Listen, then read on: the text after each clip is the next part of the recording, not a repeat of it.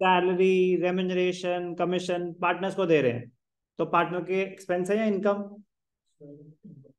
partners capital account debit होगा या credit it is a non cash transaction again तो अगर आप सैलरी दे रहे हो तो सैलरी को डेबिट करो। रेम्यूनरेशन के नाम से दे रहे हो तो रेम्यूनरेशन को डेबिट करो।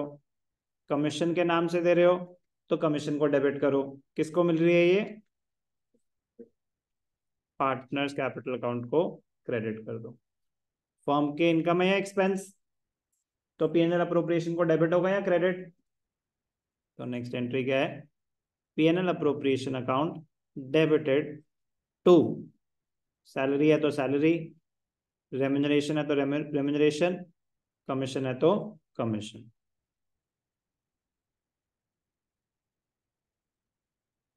कोई डाउट तो पीएनएल अप्रोप्रिएशन में डेबिट या क्रेडिट तो डेबिट साइड पे क्या आ जाएगा?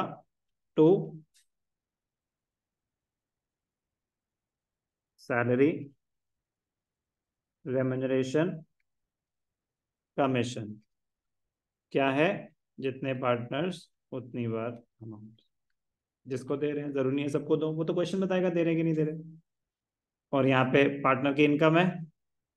तो कैपिटल अकाउंट में credit side by salary remuneration और कमीशन कोई डाउट